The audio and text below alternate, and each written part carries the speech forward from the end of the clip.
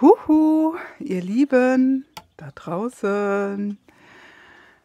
Hier ist mal wieder die Andrea aus Andalusien von andreawirk.com.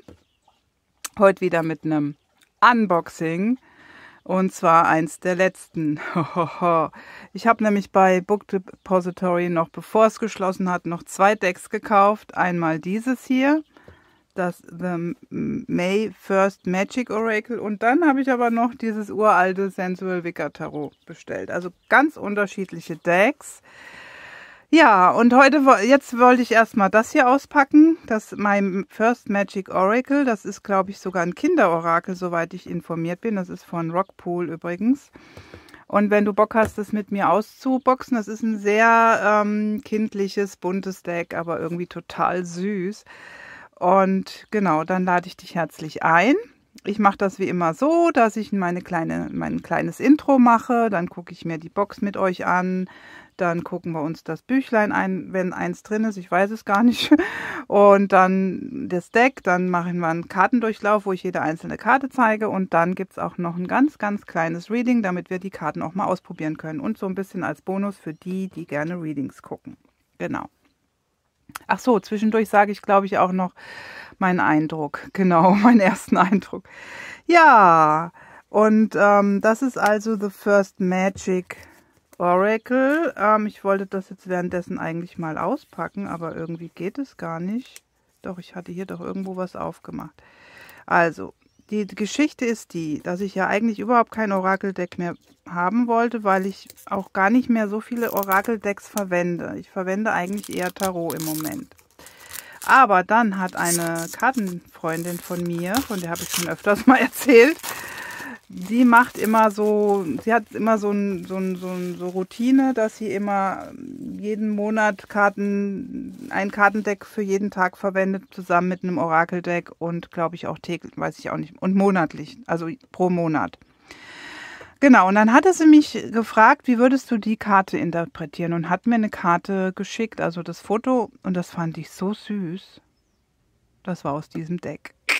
Oh, weil da war eine Rune abgebildet oder eine Kombination aus Rune und sie wollte wissen, wie ich das interpretieren würde, genau.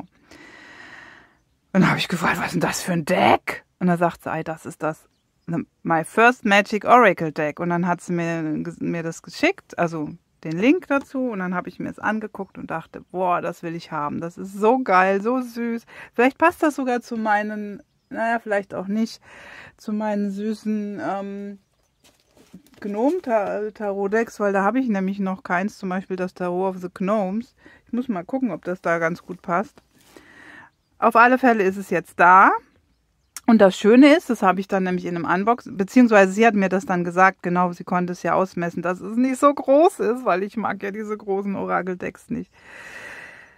Es hat, glaube ich, Tarotkartengröße und kommt in dieser süßen Box, mit der wir jetzt auch mal anfangen. Ne? Also wie gesagt, My First Magic Oracle ist das von der, oh war ja Gwenaya Dudek. Vielleicht ist es aber auch ein Er, ich glaube aber eher eine Sie. Von Rockpool. Ja, das ist die Box. Und das sind hier schon mal so 42 Karten hat. Hier haben wir schon mal, das sind Tierkarten, die total wirklich kindlich gemacht sind. Um, thank to the magical oracle, discuss your children's fears with them in a playful, imaginative way. Also man kann sie sehr gut für Kinder anscheinend verwenden. Das ist extra für Kinder gemacht. Und das ist so eine Magnetbox. Oh, mit einem Sternchen. Hier haben wir ein kleines Büchlein. Das gucken wir uns jetzt mal an. Und hier haben wir noch die Karten. Oh, das ist aber süß. So mag ich die Orakeldecks. Genau so. Nicht größer und in einer praktischen Box das Buch direkt drin. Liebe Verlage, macht doch die Orakeldecks bitte mal so. Für mich, nur für mich. Wenn die anderen größere Bücher wollen, dann macht doch einfach noch ein, ein Set mit größeren Büchern. So, jetzt fangen wir mit dem Buch an. Mache ich aber erstmal hier ein bisschen runter. Das Buch hat 92 Seiten und ist in Farbe. Das Ganze ist von 2021. in China geprintet, was ich nicht so geil finde, aber gut. Und wir haben hier eine Inhaltsangabe mit einer Einleitung, wie man die Karten verwendet und dann kommt man auch schon gleich zu den einzelnen Karten, wo dann nicht die Tiere aufgeführt sind, ich glaube, da sind Tiere drauf, sondern einfach die Keywords. Und die sind nummeriert. Ich denke, ich hoffe, die Karten auch, weil es hier nicht alphabetisch geht. Ne? Also es geht nummeriert. Und dann gibt es hier unten hinten noch About the Creator. Das ist genauso, wie ich es liebe. Kein Rumgeschwafel, sondern einfach direkt in die Karten gehen. Yeah. Und die Karten werden so dargestellt, dass sie auf der einen Seite scheinbar die Karte aufführen, und zwar in bunt. Und hier haben wir einen kleinen Text. You sometimes feel afraid. This is normal. Fear is an emotion that helps you anticipate things and remain vigilant and to try to identify you, your fears. Also hier wird einfach über die ähm, Ängste dann zum Beispiel in dem Fall geredet. Und die Karte sagt, sei mutig. Und das ist übrigens die Karte, die meine, meine Freundin mir, glaube ich, auch abfotografiert hatte, weil wir hatten diese Rune, genau. Genau. Ja, und so geht das hier weiter. Und das ist nicht viel Text. Das ist so ein, so ein, das ist auch ein sehr motivierender Text, glaube ich. Know that you can do it. Ja, ich glaube, die Texte sind auch sehr einfach und motivierend. Das finde ich sehr toll. Also wirklich auch sehr. Guck mal hier, wie kurz. Oh, ich liebe das. Ja, okay. Also das ist, das ist im Prinzip alles. Und man kann ja da noch rein interpretieren, was man will. Also in der ersten Karte zum Beispiel ist anscheinend nicht aufgeführt, was diese Rune bedeutet. Man kann ja dann auch seine eigene ähm, Imagination noch ähm, walten lassen. Hier haben wir über, über den Creator noch was stehen und ähm, warte mal, das lese ich gerade mal durch. Ach so, ich hatte gedacht, dass sie vielleicht Kindertherapeutin ist, aber sie ist unter anderem eben auch Coach, aber eben ähm, sie wollte das irgendwie auch für Kinder machen. Vielleicht ist es aber auch für das innere Kind in uns, wer weiß. Ja, okay, das ist das Buch dann würde ich sagen, kommen wir jetzt mal zum Deck. Ah, guck mal, das habe ich gar nicht gezeigt. Die Box hat hier auch noch an der Seite Sachen. Jetzt kommt mein Nachbar, jetzt wird gebellt und das hat Gott sei Dank, Rockpool macht das immer cool. Die haben mir einfach immer nur so ein Ding das finde ich cool. Und das ist der Max, den ihr da hört. Der muss sich gerade mal beschweren, weil da irgendeiner laut redet. Vielleicht müssen wir kurz stoppen. Ich weiß es noch nicht. Was mir jetzt an diesem Deck gar nicht gefällt, ist, dass, ähm, dass das komplett laminiert ist. Also es ist ein sehr laminiertes Deck. Das wusste ich aber schon. Das hatte mir meine Freundin gesagt. Also sehr plastikmäßig. Aber sehr fest und relativ flexibel, würde ich sagen. Man kann noch so ein bisschen die Pappe spüren, aber guck mal, jetzt ist es hier wieder beschädigt. Da, wo das Band ist, auch hier hinten habe ich gesehen, ist das Deck beschädigt. Das finde ich immer nicht so toll.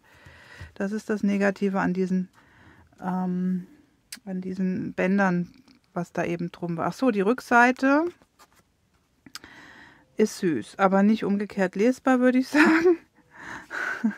Und die, wollen wir mal den ultimativen Kartengrößentest machen. Wir haben hier eine Tarotkartengröße und es hat, würde ich sagen, Tarotkartengröße. Es ist halt ein bisschen mehr abgerundet, aber ansonsten Tarotkartengröße. Ist sehr geil. Also der, der normale, übliche Use Games äh, Tarotkartengrößen Dingsbums. So. Ich weiß jetzt, ja, das ist sehr pappig, aber süß ist es. Sehr, sehr süß. Passt wahrscheinlich nicht zum Gnom-Tarot, aber egal, es ist süß. Passt vielleicht aber zum Spaghetti-Tarot, was ich gerade eben hatte. ja, also wir haben, der Kartenaufbau ist so, dass man hier natürlich das Bild hat. Es ist randlos, wie ihr seht, und man hat hier das Keyword und hier die Nummer von, damit man das auch besser im Buch findet. Und sie haben immer verschiedene farbige Hintergründe. Ich nehme an, das hat auch was zu tun, weil Blau ist zum Beispiel für mich immer so ein bisschen auch Klarheit und es hat hier Rot und das ist ja so die Feuerenergie. Vielleicht haben diese Farben sogar auch noch eine Bedeutung. Also, wir haben hier, sei mutig. mit dem Löwen. Den Tiger. Know that you can do it. Wisse, dass du es kannst. Du kannst es. Bravo. Congratulate yourself. Ähm, wie heißt denn das jetzt? Dich selber ähm, feiern, würde ich jetzt mal sagen. Oder dir selber gratulieren, genau. Feel protected. Fühl dich geschützt. Exercise. ja, mach mal ein paar Übungen, Baby. Kann ja auch eine ganz einfache Übung sein. Get plenty of sleep. Schlaf viel. Trink Wasser. Das ist wohl ein sehr alltägliches Deck, würde ich mal sagen. Du sollst Wasser trinken. Du sollst gut essen. Eat well. Man kann die Karten ab, ah, das sage ich dann später. Oh, die ist ja cool. Limits Screen Time. Das verstehe ich jetzt nicht. Ehrlich gesagt, wenn ich dran denke, schreibe ich den, den Satz hier unten auf Deutsch rein. Limitiere Screen Time. Screen Time weiß ich nicht, was das ist. Breathe. Oh, die ist ja toll. Atme. Go outside. Geh raus. Haha, die ist cool. Have fun. Hab Freude, hab Spaß. Play with your friends. Spiel mit deinen Freunden. Speak nicely to, to other people. Sprech liebevoll oder nett zu anderen Menschen.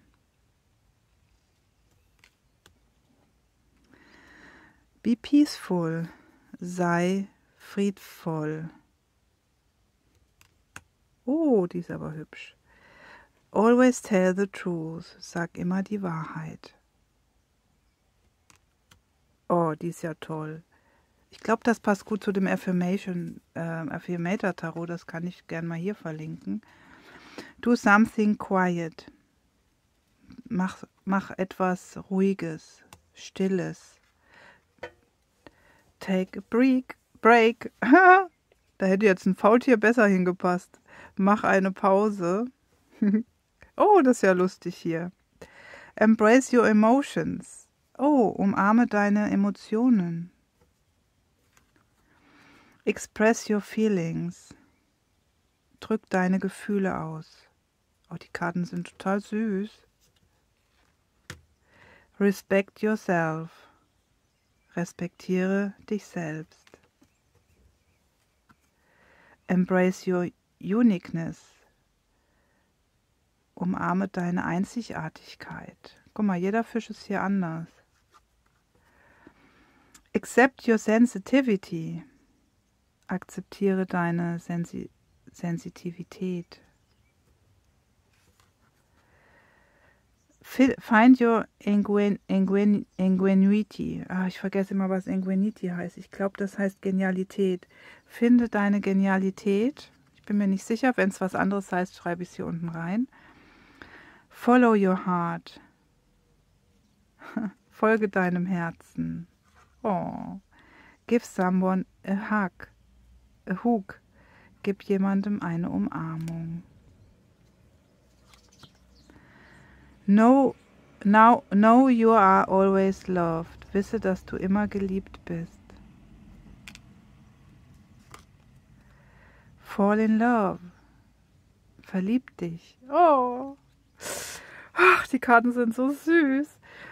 Do your best. Tu dein Bestes. Und nicht mehr, sage ich jetzt noch dazu. Focus on your homework. Fokussiere dich auf deine Heimarbeit, Hausaufgabe sozusagen. Oh, die ist ja lustig. Be patient. Sei geduldig. Remember that it will pass. Erinnere dich daran, dass es auch vorbeigehen wird. Alles. Das Schöne und auch das nicht so Schöne. Confide your fears and worries. Oh, Confide weiß ich auch wieder nicht, was es heißt. Ich schreibe es hier rein, wenn ich dran denke. Flüster denen zu oder vertraue ihnen. Ich habe keine Ahnung. Give thanks. Sei dankbar. Mach etwas für die Erde. Do something for the earth. Give something away. Gib etwas ab. Gib etwas, verschenk etwas. Träume groß, das ist mein Lieblingsspruch. Dream big. Oh, give love to our planet. Gib Liebe zu unserem Planeten. Ich würde es aber eher sagen zum ganzen Universum, Babes. Ich bin da ja ein bisschen multimäßiger drauf. Oh, die ist aber auch hübsch. Believe in the magic of life. Äh, glaube in die Magie des Lebens. Weil du bist selbst Magie, Baby. Make a wish. Wünsch dir was. Say yes. Sag ja. Und say no. Sag nein. Das ist schön, dass hier auch zwei Ja- und Nein-Karten drin sind. Das gefällt mir. Das gefällt mir sehr. So, die Karten sind sehr interessant, weil wenn man jetzt nicht so ganz konform geht, weil manchmal lege ich ja jetzt nicht unbedingt darauf, dass jemand was trinken muss oder so, zum Beispiel hier bei oder auch hier something, tu, tu etwas für die Erde. Das sind ja jetzt Karten, die man teilweise vielleicht auch eher für sich zieht. Wenn ich das jetzt für jemand anderen ziehe und das geht vielleicht jetzt um, weiß ich nicht was, um ein bestimmtes Thema, dann kann man die Karte aber auch ohne dieses Keyword lesen und wirklich auch aus dem Bild lesen, zum Beispiel erde dich, ja, könnte man jetzt hier sagen. Und ähm, oder was ich hier vorne auch noch gesehen hatte, ähm, mit den Tieren hier. Wo war denn das?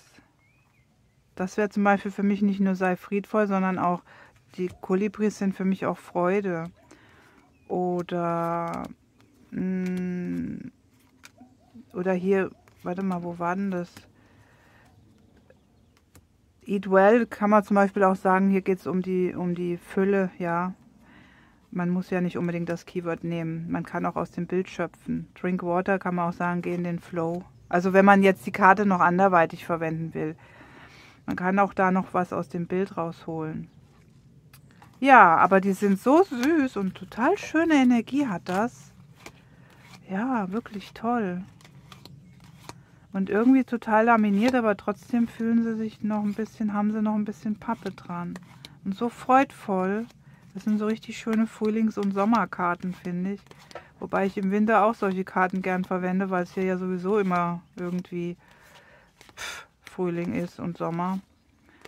Ja, also ein wirklich süßes, süßes Deck. Kann man anscheinend auch super genial für Kinder verwenden. Zumindest ähm, finde ich, sagt das der Text hier. Trink Wasser. Ne, warte mal. Wir nehmen mal irgendwie hier. Fühl dich ähm, geschützt. Auch wenn du dich äh, ganz alleine fühlst, wisse, dass du immer beschützt bist bei den Menschen, die dich lieben, durch die Menschen oder ja, mit den Menschen, die dich lieben, äh, so wie du bist, sei es, dass es die Freunde oder die Familie ist und so weiter. Ich habe das ein bisschen frei übersetzt.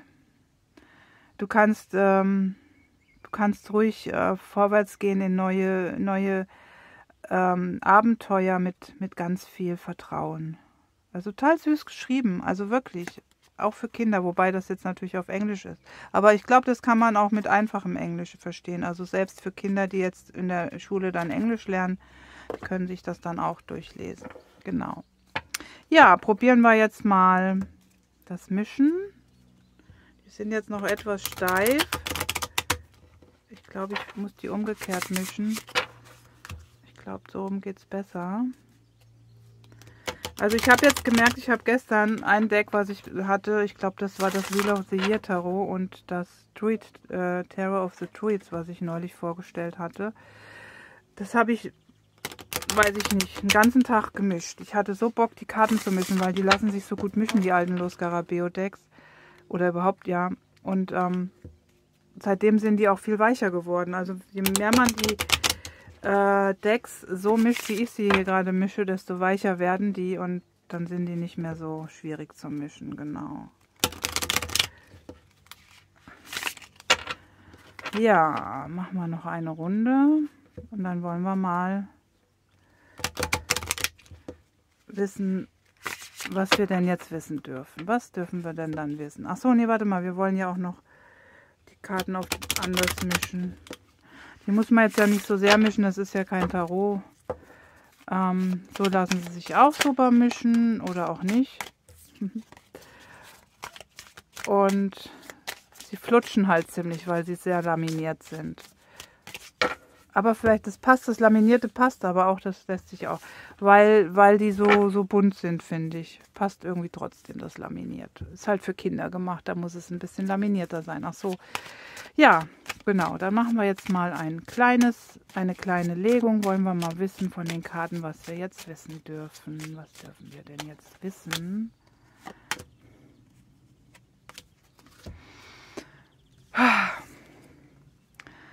Oh, sag immer die Wahrheit.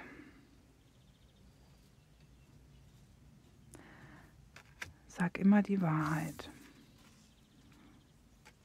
Exercise und...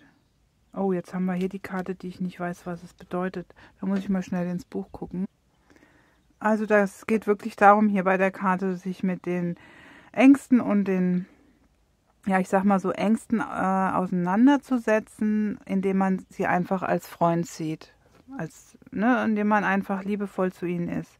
Und das passt eigentlich, die beiden pa Karten passen jetzt ganz gut, die kann ich jetzt nicht so gut einordnen, weil hier geht es natürlich um Bewegung, ja. Ähm, und ich habe so das Gefühl, dadurch, dass es ja auch um die Körperlichkeit geht bei dieser Karte, dass es vielleicht auch darum geht, ähm, dass wir jetzt, also das ist ja die Hauptkarte für mich immer, die Mitte, ja. Und es geht darum, dass du vielleicht Angst hast, äh, immer die Wahrheit zu sagen, oder dass wir Angst haben, immer äh, die Wahrheit zu sagen und auch die Wahrheit zu sein, ja. Äh, oder uns wahrhaftig auszudrücken. Ich gehe jetzt einfach mal ein bisschen weiter. Aber wir haben ähm, in unserem Feld jetzt eigentlich drin, dass wir uns mit und diesen Ängsten auch auseinandersetzen können und uns wirklich auf uns selbst besinnen können. Und da ist der Körper ganz wichtig, das Fühlen des Körpers. Ähm, viele fühlen ja ihren Körper gar nicht. Und man, viele machen zum Beispiel auch viele Übungen und spüren ihren Körper dabei gar nicht. Da geht es dann nur darum, den Körper zu formen, aber nicht im Körper zu sein. Und ich glaube, es ist ganz wichtig, dass wir jetzt wirklich diesen Körper, den wir selbst erstellt haben, den wir selbst erschaffen haben sozusagen, dass wir den jetzt auch spüren in, in, in allen Einzelteilen, jede Zelle, also wirklich, man kann das natürlich in Bewegung machen, man kann es aber auch in der Stille machen, aber dass wir wirklich spüren, das ist unser Körper und dass wir ihn lieben und dass wir uns dadurch eben auch lieben. Und dann können wir eigentlich auch damit der Angst begegnen, nämlich der Angst, wie wir uns ausdrücken oder der Angst, wie was wir eben sagen, weil wir haben dann oft haben wir ja Angst, wir könnten was falsch machen oder nicht mehr geliebt werden, wenn wir irgendwas sagen oder ausdrücken.